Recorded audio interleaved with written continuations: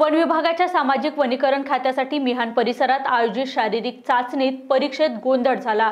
शारीरिक चाचणी परीक्षेतील रनिंगचा तपशील उमेदवारांना देण्यात येणार नाही असे वन विभागाच्या अधिकाऱ्यांची प्रतिक्रिया यावरूनच उमेदवारांचा गोंधळ झाला.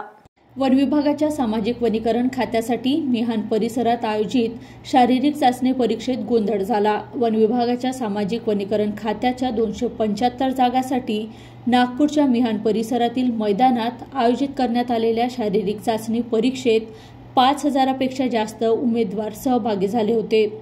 शारीरिक चाचणी परीक्षेत उमेदवारांनी केलेल्या रनिंगचा तपशील देण्यात यावा अशी परीक्षार्थ्यांची मागणी होती. शारीरिक चाचणी परीक्षेतील रनिंगचा तपशील उमेदवारांना देण्यात येणार नाही असे वन विभागाच्या अधिकाऱ्यांनी प्रतिक्रिया दिली. यावरूनच उमेदवारांचा गोंधळ निर्माण झाला.